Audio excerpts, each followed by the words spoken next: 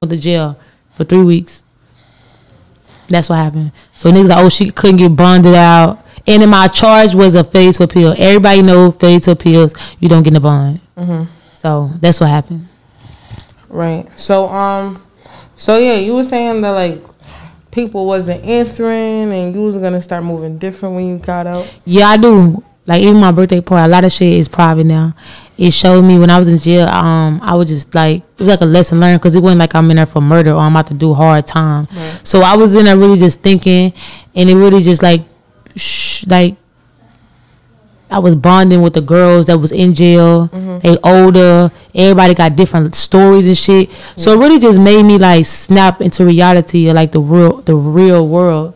So it was just like a lesson learned. I just started thinking about everything. Like people wasn't answering me. People thinking I'm in jail for forever. They not answering. Mm. Not doing like trying to put money like even though I don't need it. But when you in jail, you have no access to your money. You have no access to nothing. So you're gonna always need a trustworthy person on the outside to help you. And people lack that. When you go to jail, you thinking like, oh, my my homie got me. Oh, time your homie steal all your shit, and you come home with nothing. Mm-hmm. People move funny when you in jail though. I feel like so. I, I it opened my eyes. I they told me like don't fuck with no more broke niggas. Like I'm not fucking with broke niggas. Like I don't care. I don't like. I'm not doing it. I'm not. I don't care how much I like you. I believe in you. I'm not fucking with broke niggas, bro. Like not doing it. Okay. So so niggas was moving broke while you was in there. Niggas is moving broke. Okay. Like niggas was moving broke.